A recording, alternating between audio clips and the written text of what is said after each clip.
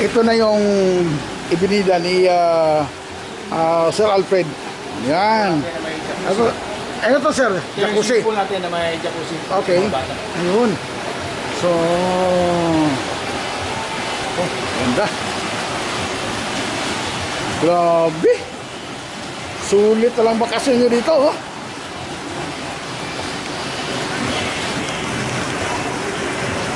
Nazarin Inland Resort. Ay, nako. Sarap maligo. Ayan. Sarap maligo nako. Ito pang adult. Ito pang adult. Yun, sarap. 5 feet ang lalim ito. 5 feet ang lalim. Wow. Ang ganda. Ayun.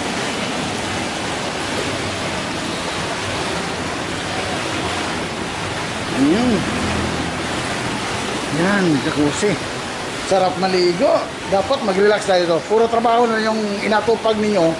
So, importante na makapagbakasyon at makapag-relax naman kayo. Ito, sir, ito, sir Alfred, ano to? Ito, room. Ito, room. Family room. Ah, isa, meron pa dalawa sa taas. May dalawa sa taas. Okay. Yo, ganda. Ayan.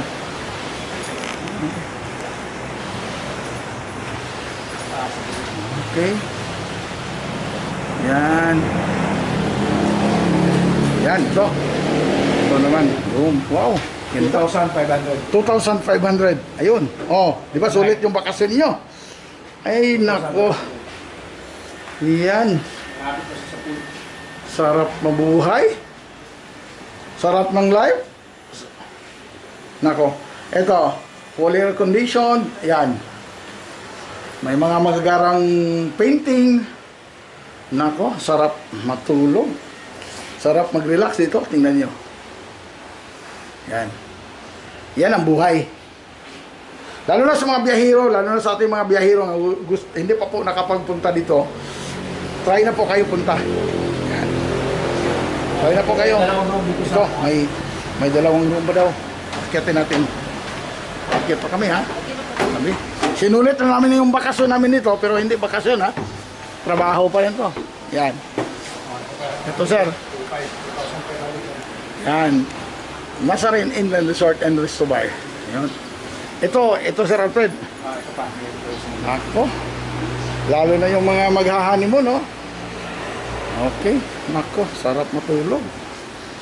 Ganda. May sarili ng TV. Yun. Aircon, hindi 2.5 pa rin. Yun. Fully air condition, may television pa kayo.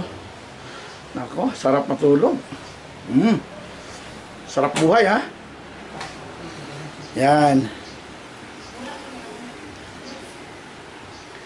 Yan. Oh, ano pang hinihintay nyo? Mag-book na kayo dito sa Nazarin Inland Resort Ano and Resto Bar. Yun. Ito, pwede magbarkada dito, oh. Kasyang-kasya kayo. Ayan.